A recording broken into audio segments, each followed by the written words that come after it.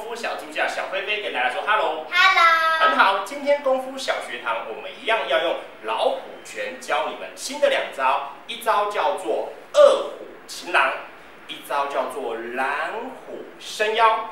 这两招的概念是，如果有人要碰你小孩子的肚子，我们就二虎擒狼，把他的手压下来，然后叫你的孩子做反击，推开他。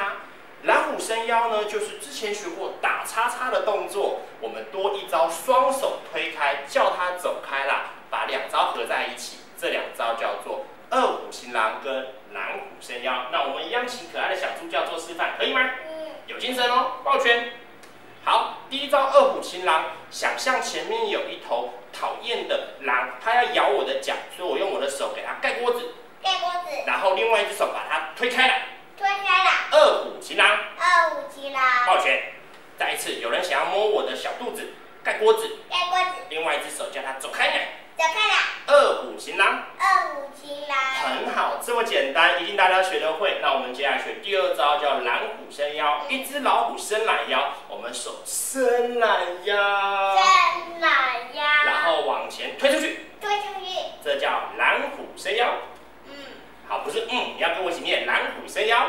蓝虎伸腰，好，再一次哦，伸懒腰，然后推出去，蓝虎伸腰，蓝虎伸腰，抱拳。快点，好，那我们来请小菲菲做示范，看看这两招怎么运用哦。来，一样，菲菲面对我，然后我们前后脚先站好。好，第一招，有人呢，如果碰你家小孩子衣服或肚子，小孩子就是一只手先把它盖起来，让他手压下去，叫不要碰我。第一，另外一只手用力的把它推开。好，我小菲菲，我不要慢慢推，我要像老虎一样一口气扑上去。准备好了吗？嗯，好，我要摸你的肚子，不给我碰，然后一二三推，哦哦哦哦哦，非常好，这招叫做蓝虎伸腰。再一次，有人要摸你肚子，把它盖起来，不是盖锅子，盖起来，然后，哎，很好，二虎扑羊，很好，再一次，推，嘿，哎呦，很好，然后第二招叫做蓝虎伸腰。蓝虎伸腰怎么做呢？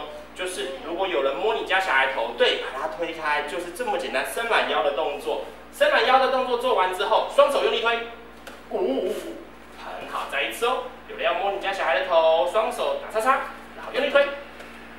好，小菲菲这边我希望你要两手推，这样比较有力气。最后一次哦，打开来，用力推，啊，非常好，嗨翻，很好，简不简单？简单，简单好，来，今天教的这两招分别就是盖锅子往前推的二五行狼，二五七啦，还有一个是伸懒腰往前推的狼虎伸腰。狼虎伸腰，好好，这两招应该很简单吧？嗯好，没有问题的话，那我们就要准备下课喽。